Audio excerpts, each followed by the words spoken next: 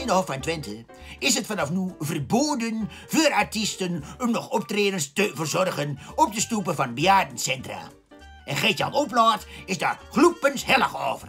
Hier we, ik niet. Ik vind het namelijk volkomen terecht. Want foei, foei, foei, wat heb die arme, arme bejaarden een hoop voor de kiezen had de lessentijd. Foei!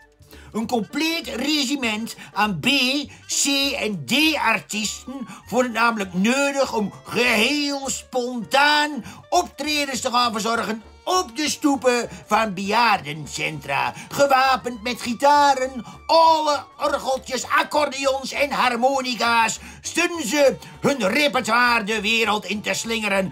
Vaak gespind van ieder gebrek aan ritme en zo vals als een krijen. Nee, maar echt, het zal op erover komen, hè. Je bent 93 jaar, je hebt de Tweede Wereldoorlog overleefd. De Koude Oorlog overleefd. Je hebt allerlei ziektes bedwongen. Ellende meegemaakt. Je bent zo'n beetje nog de enige van uw hele generatie die nog leeft. En die wilt genieten van uw oude dag. En dan word je op een dag word wakker.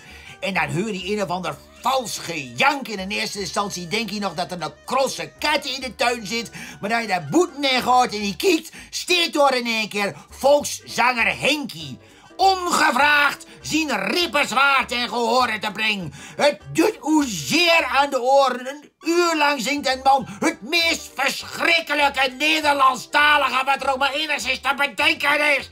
Dat is toch pure muzikale matteling, of niet? En dan mag je nog blij dat de helft van de bejaarden zo doof als de kwattel is, want anders was het lied nog veel grotere wijs, of niet? Niet wat mij betreft is deze maatregel volkomen terecht. Sterker nog, ik zal ervoor willen pleiten om de maatregel permanent te maken en ook na de coronacrisis in stand te houden. Voort van de straat met al die inferieure Nederlandstalige artiesten. Voort ermet. Wend er maar aan.